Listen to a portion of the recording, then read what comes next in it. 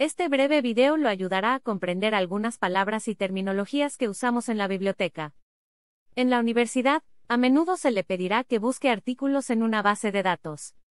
Entonces, ¿qué es exactamente una base de datos? Para responder a esa pregunta, pensemos en años atrás. Antes de Internet y la web, las bibliotecas solo tenían libros y artículos impresos. Puede encontrar libros, revistas y periódicos usando lo que se llama un catálogo de tarjetas. Tenía tarjetitas con el título y demás información de todos los materiales para que los pudieras encontrar en la biblioteca. Para encontrar artículos sobre un tema, había un índice periódico, que era un índice de tema, autor y palabra clave para revistas y periódicos. A veces, el índice resumía el contenido de un artículo en lo que se denomina abstract.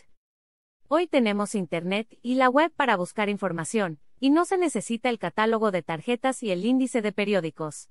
La biblioteca paga a una empresa proveedora por las bases de datos disponibles en línea, que brindan acceso a artículos casi por tema o tema.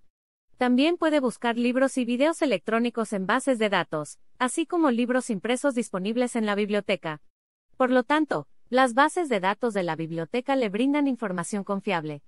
Capítulos de libros y artículos en libros electrónicos y libros impresos. También te dan acceso a artículos de revistas y periódicos.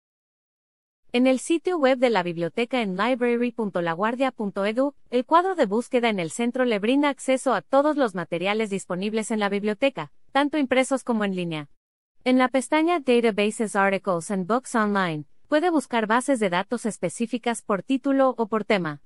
El enlace Databases de la A a la Z tiene una lista de todas las bases de datos de la biblioteca por título.